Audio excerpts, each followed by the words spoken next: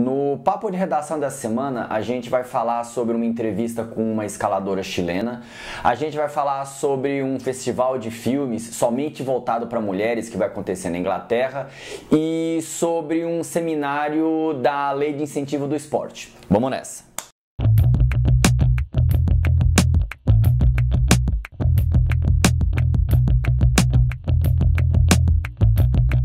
Antes de comentar os comentários, eu queria pedir para você assinar o canal. Não deixe de, além de clicar para assinar o canal, você também clicar no sininho, no símbolo do sininho, para que você receba as notificações via e-mail. É muito importante para a gente que cada pessoa que assista ao vídeo assine o canal. Então, por favor. É, primeiramente eu queria agradecer ao William Lopes Tristão, ele deixou um comentário no nosso vídeo da semana passada. William, muito obrigado pelo seu comentário, a gente gostou bastante. O William falou que ele acompanha bastante o canal ele é bombeiro militar no estado de Minas Gerais. William, parabéns para você, parabéns pela sua profissão, é uma das profissões mais altruístas que existe, é muito importante para o escalador e para quem pratica esporte outdoor ou montanhismo, qualquer outra atividade que você tenha que sair da cidade, que existam bombeiros de prontidão para socorrer a gente em alguma emergência. É claro que a gente não quer que aconteça uma emergência, mas no caso de acontecer uma emergência, tem profissionais como você, que é um bombeiro militar, que dá bastante força pra gente. Muito obrigado, a gente espera outras mensagens suas aqui no nosso canal. É, um outro comentário que a gente viu essa semana foi do Renan Alves. A gente agradece muito o seu comentário, Renan, muito obrigado por ele. É, o tamanho do comentário sempre aumenta, agrega para o nosso vídeo e a gente acredita que realmente ficou muito pequena a imagem que a gente colocou. A gente vai seguir a sua sugestão, vai colocar a imagem um pouco maior, bastante maior, para que as pessoas que assistem o nosso canal via celular, via computador, ou que tem uma tela pequenininha, também possa ver o comentário que a gente está comentando. Com respeito ao que você falou do podcast, a gente achou a sugestão bastante interessante, a gente vai dar uma estudada nela, até mesmo porque dá pra gente, no formato que a gente está utilizando agora, dá pra gente colocar como se fosse um áudio. O único, porém, a única observação é que a gente usa bastante imagem para ilustrar o que a gente está falando. A gente usa pedaços de vídeo, a gente usa fotos, a gente mostra o site o qual a gente está falando e eu acredito que isso possa se perder um pouquinho na hora de você colocar em podcast. Mas a gente vai dar uma estudada no que você falou, vai verificar se é possível e se não vai perder a riqueza que a gente tem de detalhes quando a gente mostra a imagem. Muito obrigado, a gente espera outras, mens outras mensagens suas no futuro. Uma outra mensagem que a gente recebeu essa semana foi do Eduardo Ferreira Dias. Eduardo, muito obrigado pela sua mensagem, apesar de curta, a gente apreciou bastante e não deixe sempre de enviar mensagem pra gente. Seja você, Eduardo, seja qualquer outra pessoa, envia mensagem pra gente sugerindo artigo, contestando ou pedindo mais detalhes de alguma notícia, pedindo que a gente utilize alguma outra abordagem a respeito de qualquer reportagem reportagem que a gente tenha falado no canal do YouTube ou tenha publicado no site. É muito importante a gente ter esse canal de comunicação com o leitor para a gente poder melhorar a cada dia e produzir um conteúdo de qualidade, o qual a gente é reconhecido hoje. Um outro comentário que a gente recebeu essa semana foi do Marcelo. Marcelo, muito obrigado pelo seu comentário. Acontece que o comentário que você deixou deixou a entender que você não leu o artigo. O artigo estava falando sobre os benefícios da cafeína, não estava comparando cafeína com qualquer outra droga, lícita ou ilícita. É, eu achei interessante você falar que maconha e cafeína, eu nesse artigo a gente não comparou é, maconha, cocaína, qualquer outra coisa com cafeína. Era somente para enumerar as vantagens que tem de você utilizar a cafeína como atleta. Até mesmo porque a gente acha no site, e na minha opinião pessoal, é que cada um é responsável por aquilo que consome. Então eu acredito que esse dado que você deixou de que a maconha mata mais que cafeína, eu acredito que necessita um pouquinho mais de dado, porque parece mais uma afirmação baseada em sofisma, não parece, não parece muito verdadeira quando você colocou. Caso você queira, envia pra gente os dados que comprovam realmente esse, esse tipo de, de comparação que a gente pode fazer uma abordagem no futuro. Muito obrigado pela sua mensagem, a gente conta mais com mensagem sua no futuro. Uma outra mensagem que a gente recebeu essa semana foi do Daniel Dacol. Daniel, muito obrigado pela sua mensagem. O Daniel contestou o número de que 45 milhões de pessoas no Brasil é, possuem é, mobilidade reduzida. Esse número foi tirado do IBGE, esse número não foi tirado da minha cabeça, o, o Daniel. Esse número é verdadeiro. O que, que é mobilidade reduzida? Mobilidade reduzida pode ser uma deficiência física, pode ser uma deficiência sensorial, uma deficiência de locomoção, ou seja, está incluído em mobilidade reduzida as pessoas que são idosas, que têm dificuldade em locomoção, as pessoas que são deficientes visuais, as pessoas que, que possuem obesidade mórbida e assim por diante. Por isso que é um número muito grande e realmente é um quarto da população brasileira.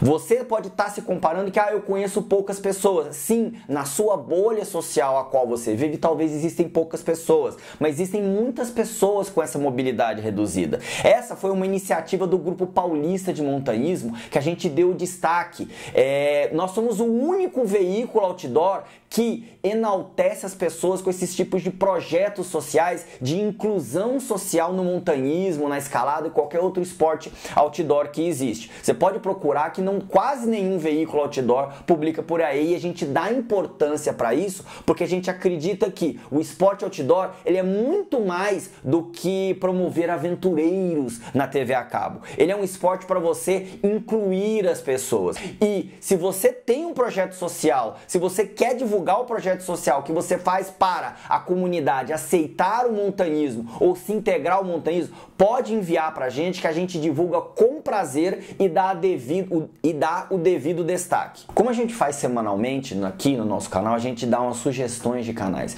Existe um canal que já entrou no nosso radar várias vezes e as pessoas já entraram em contato para a gente falar dele, que é o canal do Escaladas Clássicas. O canal do Escaladas Clássicas é feito por cinco pessoas, é pelo Guilherme Ramos, é pelo Lucas Sato, pelo Mauro Chiara, Mauro Melo e pelo Rodrigo Mota. Esses cinco, eles divulgam conteúdo o tempo todo, tanto no site deles quanto no canal. Ele é um canal de vídeos um pouco mais contemplativo, eles não têm muita interação com o leitor, eles não leem mensagens, eles não leem mensagens, eles simplesmente mostram alguns pedaços de escalada, vários trekkings que eles fazem em alta montanha, tanto aqui no Brasil como no exterior. Se eu tivesse que fazer uma recomendação para você, tanto o Guilherme como o Luca, os dois Mauros, o Rodrigo, é o seguinte: vocês poderiam é, fazer uma, um, ligar mais com o, o, espectador do seu canal. Você falarem, vocês falarem um pouquinho mais, vocês divulgarem mais o lugar onde vocês estão escalando. Por que, que vocês estão escalando aquela via? Quais são as características daquela via? Qual foi as dificuldades que vocês acharam? Quais os conselhos que você tem que dar e assim por diante? Porque senão o canal fica um pouco contemplativo e pode não ficar muito interessante para quem não gosta muito de escalada. E aí vocês podem estar perdendo um pouquinho o público por conta desse detalhe. Mas fica a sugestão do canal Escaladas Clássicas, ele é muito interessante, é um dos poucos canais de escalada que não focam somente em escalada esportiva, foca também em escalada clássica. Um outro canal que a gente tem para sugerir é o Van Life Diaries. Esse canal ele é conduzido por um casal australiano. Eles têm uma atualização semanal e eles sempre mostram vários personagens, várias pessoas que estão vivendo van life. O que, que quer dizer vivendo no estilo van life? Viver no estilo van life é você morar em um motorhome e poder optar segundo o canal Van Life Diaries, por uma vida simples. Então eles mostram como as pessoas montaram os seus veículos, quais são os modelos preferidos dela, quais são as dicas que elas dão para que você possa viver dentro de um motorhome, para que você possa comprar um motorhome, mobiliar um motorhome e assim por diante. É, vários personagens, várias histórias passam por eles. Eles dão boas dicas, eles dão boas interessantes, eles até ensinam como que monta um motorhome. Se você depois de assistir esse canal do Van Life, sentir vontade de construir o seu próprio motorhome, a gente tem uma série de artigos no site que ensinam você a entrar nessa vida de van life. A gente tem a dica de um livro completo, um e-book que ensina como você monta um motorhome a partir de uma Kombi. A gente também tem uma série de artigos que fala como é que você constrói um motorhome a partir de um furgão. A gente vai deixar os links aqui embaixo na descrição do vídeo e se você quiser montar o seu motorhome, bem-vindo à tribo.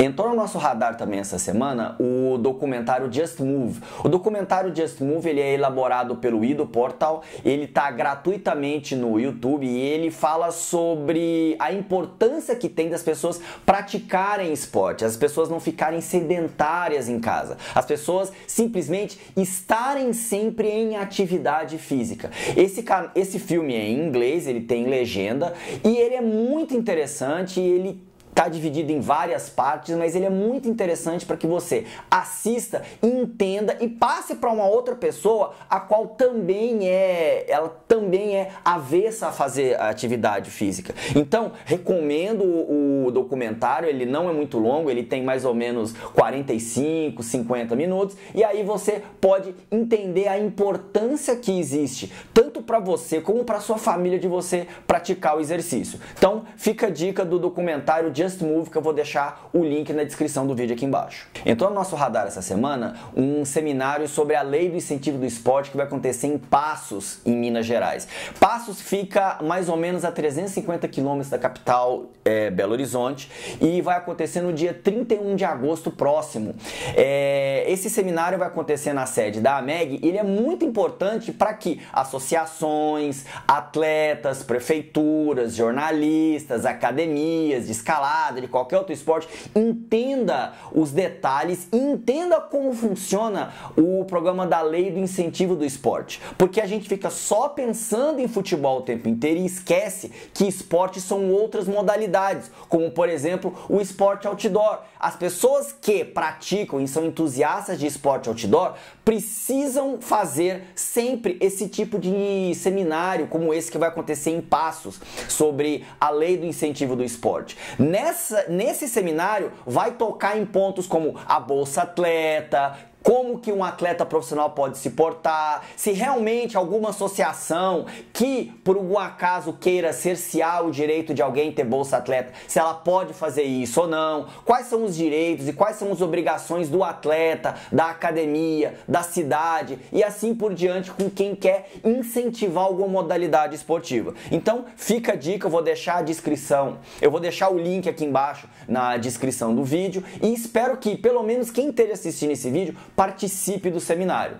Entrou no nosso radar também essa semana o She Extreme. O She Extreme ele é um festival de filmes outdoor somente voltado para mulheres e com seminários para que roteirista, produtora, criadora, diretoras, todas mulheres que queiram trabalhar com filme outdoor, trabalhar com documentário de natureza, sejam incentivadas a estudar e a saber mais sobre esse tipo de gênero. Esse curso que vai acontecer vai ser lá na Inglaterra, na cidade de Bristol, no dia 5 de outubro. Só que quem tiver querendo participar tem que correr, o deadline é até o dia 5 de setembro que eles vão estar tá recolhendo inscrições. Ah, mas é lá na Inglaterra? Sim, é lá na Inglaterra que está tendo essa iniciativa de inclusão de mulheres no universo outdoor. Para quê? Para que mais mulheres estudem, escrevam, retratem, documentem o universo outdoor e não somente ficam participando do universo outdoor como o objeto do filme.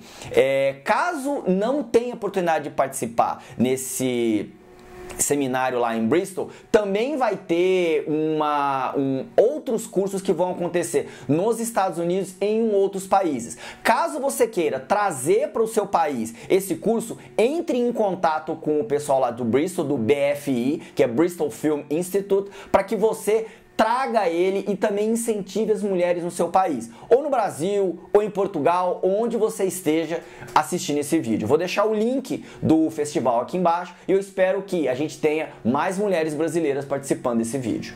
Então, no nosso radar essa semana, a entrevista que a escaladora Belen Villailon é, deixou no site Passo Clave.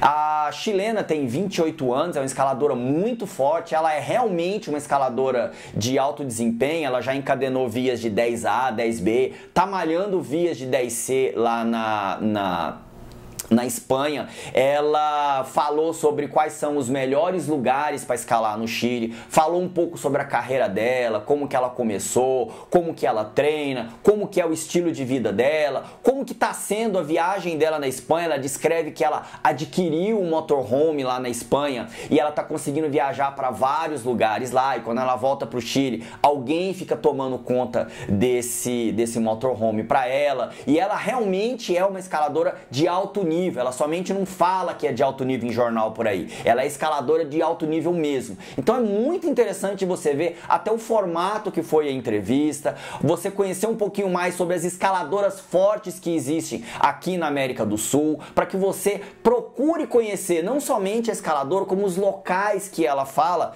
que é, são lugares muito interessantes de você conhecer. Eu vou deixar o link da entrevista aqui embaixo e vou deixar também o vídeo da entrevista que ela deu para o site é, Passo Clave. Entrou no nosso radar essa semana um artigo sobre crossfit e o empoderamento feminino. O artigo foi escrito pelo box de CrossFit Ares, que é lá de BH, muito interessante, ele é muito bem escrito pela jornalista Raquel Capanema. E nesse artigo ele aborda vários pontos de como o CrossFit incentiva as mulheres a ficarem empoderadas, como o CrossFit ele não é segregador, como que o esporte ele incentiva muito mais as mulheres ficarem independentes, os homens respeitarem as mulheres e que alguém usar shortinho não tem nada a ver com, uma, com o feminismo ou com machismo. As pessoas pessoas usam o que elas querem e elas devem ser respeitadas por aquilo que elas são. Não somente ficar gritando porque uma ou outra não está seguindo um padrão é, pré-estabelecido que a sociedade fala para ela. Se você for num, bloco de, num box de crossfit, muito provavelmente todas estão usando roupas mínimas suadas, fazendo bastante exercício e ela toca no ponto de que nenhum esporte torna nenhuma mulher ma masculinizada. O esporte torna a mulher independente, a torna a mulher empoderada e assim por diante. Então o artigo é simplesmente um documento de feminismo,